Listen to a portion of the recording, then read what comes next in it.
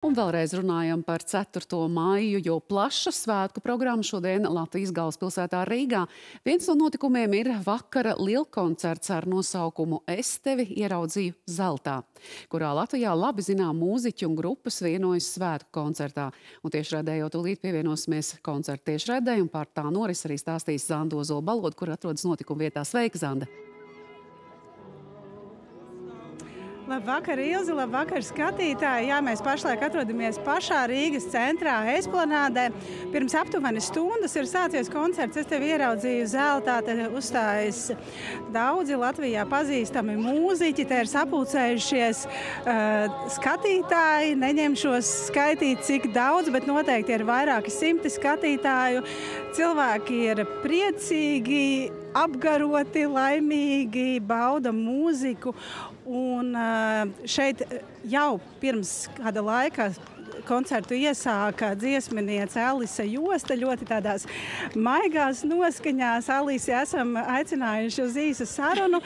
Alise koncertā minēja, ka ir dzimusi pirms 90. gada 4. māja. Alise, ko jums nozīmē 4. mājas, ar kādām sajūtām šodien dziedājāt? Uh, Nu, jā, es pat godīgi sakot, negaidīju. Kaut kā manī ielīja tāds uh, milzīgs aizkustinājums šeit būt. Um, es, tā, nu, jā, es biju ļoti maza meitene tajā, tajā 90. gadā. Un, un man atmiņā no tā laika nekas daudz nav iespiedies. Bet uh, redzot šodien šos cilvēkus tiešām un jūtoties tādā nu, tiešām vienotā tādā svētku dienā, tas ir ļoti, ļoti skaisti. Un, un, un es priecājos, ka šeit var būt. Un priecājos, ka šeit ir daudz citu cilvēku, un mēs varam kopā šādā dienā šeit būt.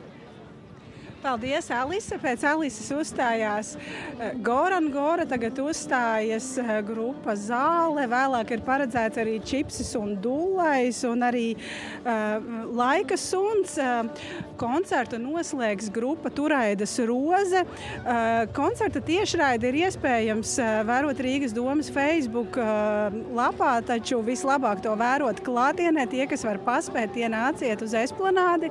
Koncerts norisināsies darbojas vēl līdz pulksten desmitiem, tā kā visi gaidīti un atgriežamies studijā. Ilze.